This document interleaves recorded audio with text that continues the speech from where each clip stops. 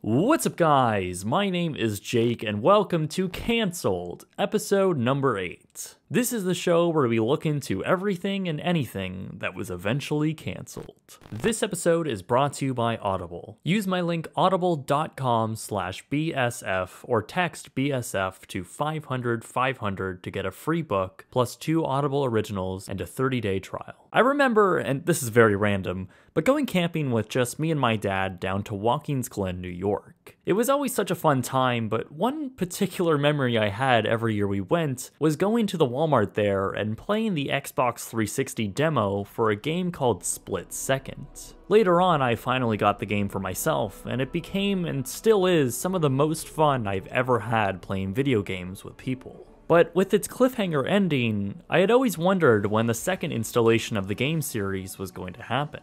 So today I wanted to take a closer look at the second intended game for the series that never happened, and why Disney, yes that's right Disney, ultimately cancelled Split Second 2. I would like to warn everyone if you intend to play this game, this video will contain spoilers. So Split Second was a game developed by Blackrock Studios, a small indie developer owned by Disney Interactive. Split Second was set to be their second game for the studio after their 2008 ATV release, Pure. However, this game, which had some similarities to other racing titles like Burnout, had really set to breathe new life into the racing game genre. In June of 2009, the game was revealed to the world at E3. The response was generally quite excited for this new and innovative entry into the racing genre. IGN was quoted saying, Although the level shown was only an extra little glimpse of what Split Second has to offer, already it's looking great. The combination of burnout style thrills and pin sharp presentation is certainly an explosive mix. And if Split Second can deliver on these promises when it's released next year, we'll be first in line to climb inside the driver's seat. On May 18, 2010, Split Second released to the public on Xbox 360, PlayStation 3, and eventually PC. The game, just at a release, was very well received critically, yet didn't do so well with sales, moving only 86,000 units for both platforms in the first 12 days. The initial release was thought to have been severely hit by the release of Red Dead Redemption, which came out the same day, and in the same amount of time, sold 1.5 million units. This cast a huge shadow over Split Second, and since then, sales were rather slow. However, this didn't reflect on the game's actual public perception, since it quickly grew praise for just how unique it presented itself. Most game reviewers who played it left pretty favorable reviews, giving Split Second an 82% on Metacritic.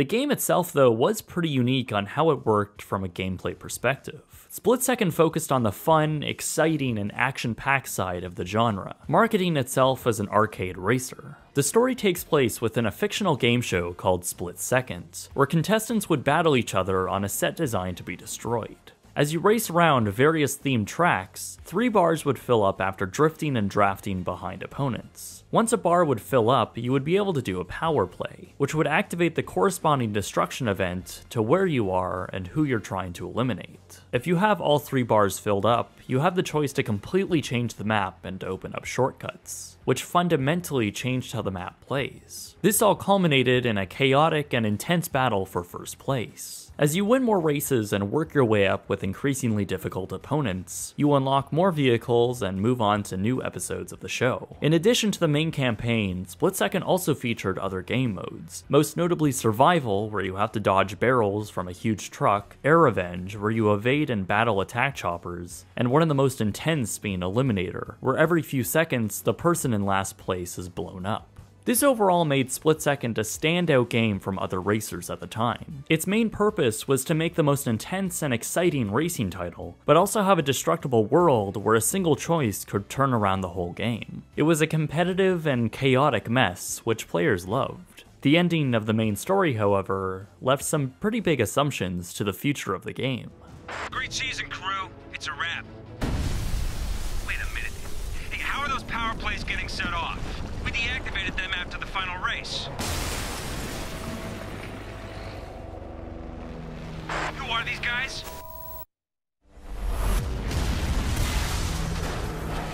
The set's supposed to be clear by now.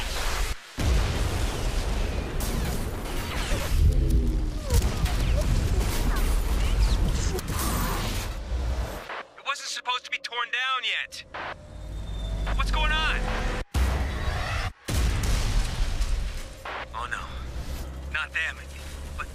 They got taken off air in 82.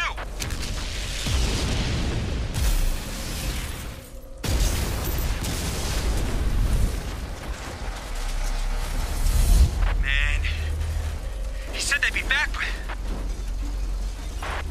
Oh boy. This ain't gonna end well.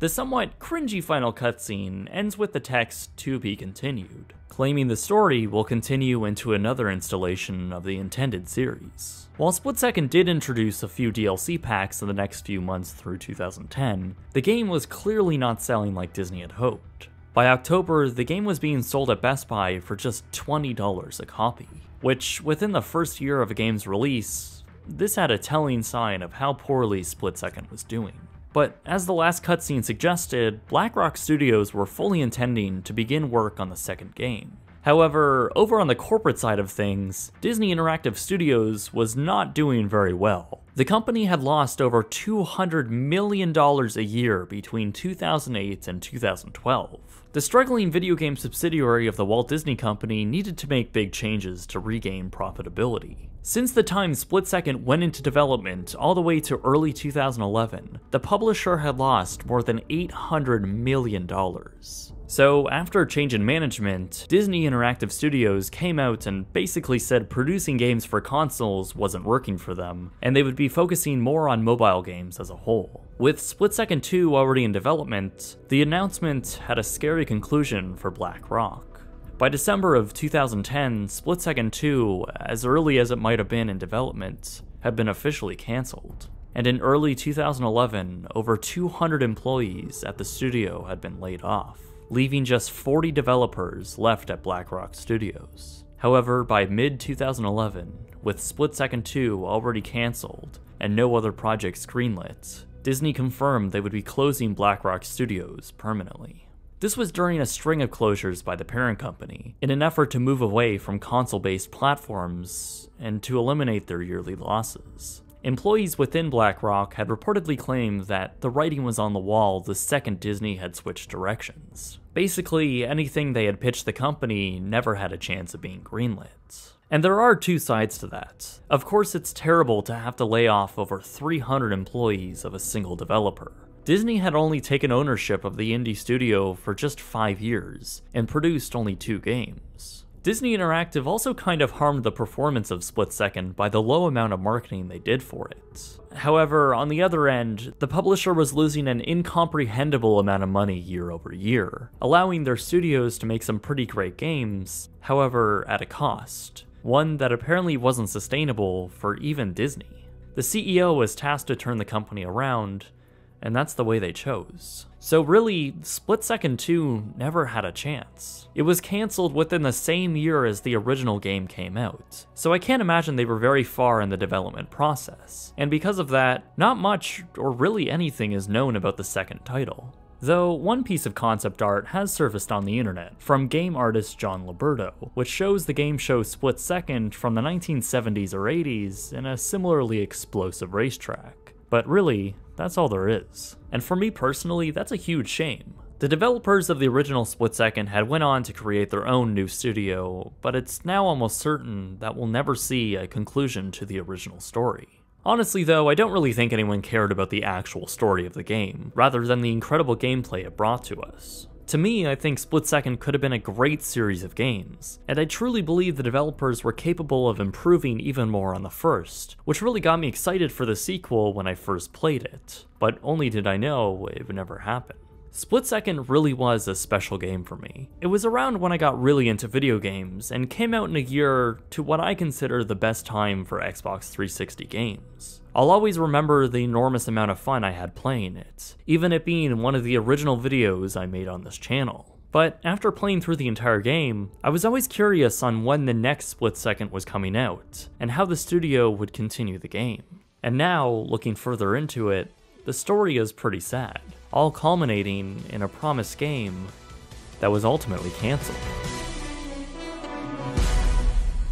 One of my favorite games from 2010 besides Split Second was Halo Reach. It had such a great storyline to it, and I always meant to dive a little deeper into the lore. A great place to do that, however, is with Audible. There you can listen to Halo The Fall of Reach, which is what I'm doing right now, but you also have access to the largest selection of audiobooks on the planet, so there's always something to listen to. And now, an Audible membership has even more perks. Members will now get three titles of their choice, one audiobook, two Audible every month, as well as exclusive access to fitness programs and even more. Audible has actually been a great service for me since I always listen to something while I edit, and now I'm able to listen to audiobooks in the background, which is just perfect for me. Try it free for 30 days by visiting audible.com slash BSF or texting BSF to 500 500. Anyway, this episode was always something I wanted to explore further since Split Second really was an important game to me. Seriously, I implore you to play this. I'm not sure how you can now,